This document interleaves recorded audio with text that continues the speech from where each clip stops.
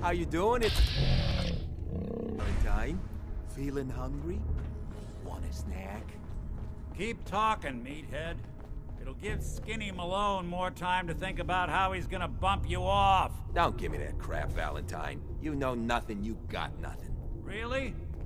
I saw him writing your name down in that black book of his. Lousy, cheating card shark, I think were his exact words. Then he struck the name across three times. Three strikes?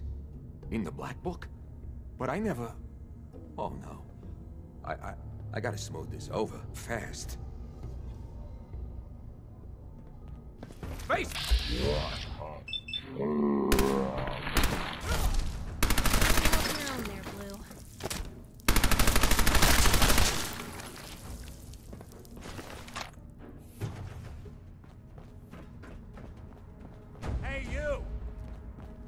you are, but we got three minutes before they realize muscles for brains ain't coming back.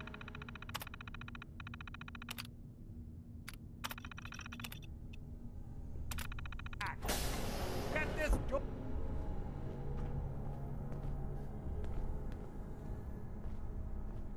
Gotta love the irony of the reverse damsel in distress scenario. Question is, why did our heroine risk life and limb for an old private eye? My baby's missing. His name's Shaun. He was kidnapped, but I don't know who took him or where they went. Missing kid, huh? Well, you came to the right man, if not the right place. I've been cooped up in here for weeks. Turns out the runaway daughter I came here to find wasn't kidnapped. She's Skinny Malone's new flame.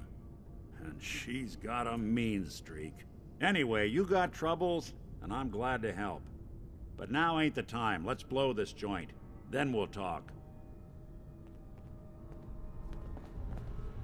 There we go.